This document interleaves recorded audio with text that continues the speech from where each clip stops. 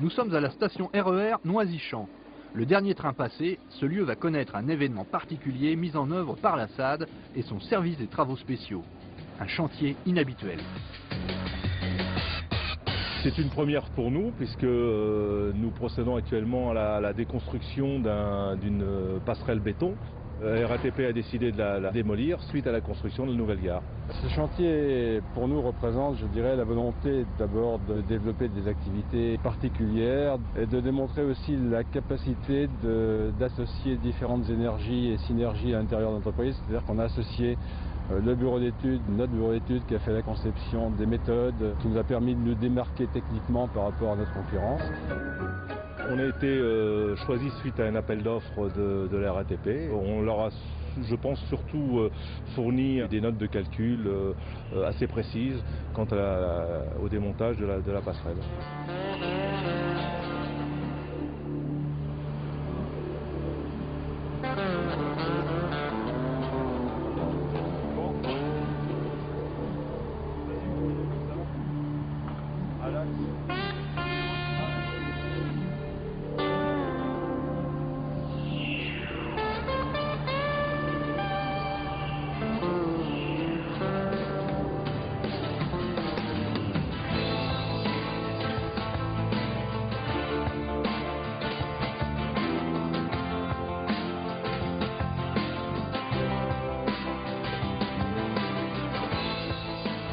Techniquement, on a, procédé au sillage de la passerelle en, en 10 éléments. On a euh, coupé en, en 10 éléments le tablier du pont.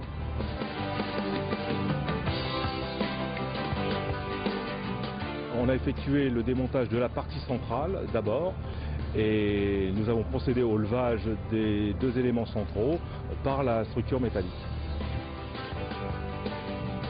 Les éléments ont été ensuite euh, chargés sur, euh, sur et évacués euh, dans une, dans une station de retraitement.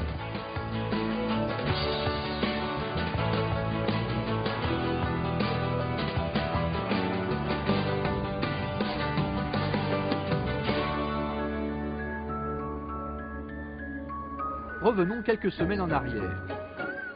Depuis plus de deux mois, la SAD procède aux préparatifs du chantier.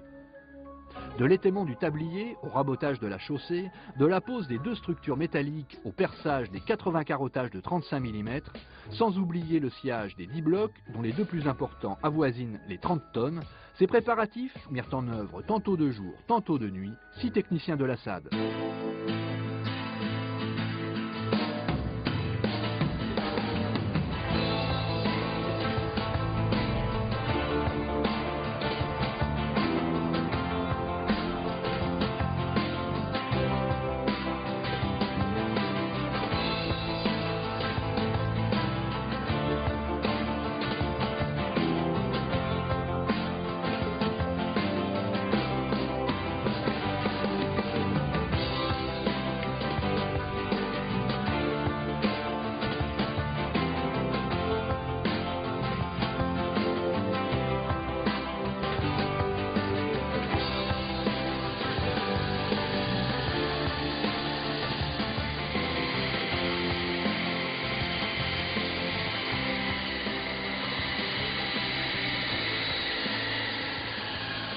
Peu au crochet.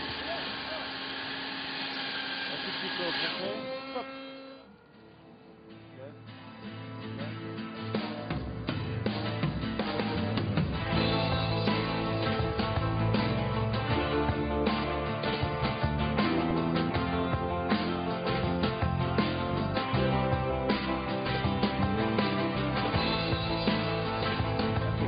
Pour nous euh, un pas, euh, un pas de géant puisque c'est la première fois que nous effectuons ce, type de travail. C'est un créneau qu'il faut essayer de développer. Je pense que c'est un chantier, des activités intéressantes qui valorise quand même l'entreprise dans euh, sa, polyvalence. Hein, qu'on pourrait éventuellement même exporter soit en France ou peut-être dans d'autres pays.